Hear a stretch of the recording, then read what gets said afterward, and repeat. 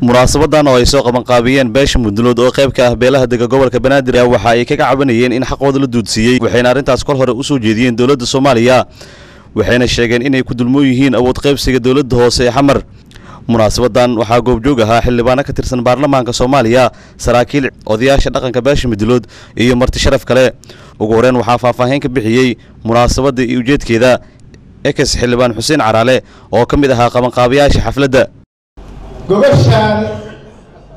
maanta halkaan taalla waxaa loo dhigay ay ku saabsan tahay waxa waaye gobolka baraandir xaquuqou leeyahay. Dadkii degganaay waa dadka inta fadhiya iyo soomaalidi kale oo maqan oo la wada degan yahay. Waa la wada degan yahay ka mida yahay siddeed iyo tobanka gobol dastuurkay ku qoran tahay caasimadina waa ku taallaa gobollada intaasoo dheeri waxaan rabnaa dadka ku nool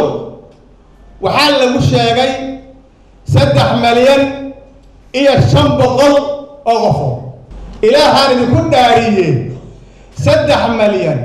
iyo shan boqol oo qofood oon xaquuq lahayn adduunyada meelay ka joogto ilaahay ayaa xaquuq ugu talagalay ciddii u diiday saddex malyan iyo shan boqol inay xaquuq lahaa weyso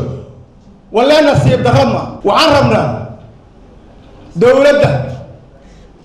maanta jirta ou madaxda hoggaan madaxweyne u yahay maxamed cabdullaahi farmaajo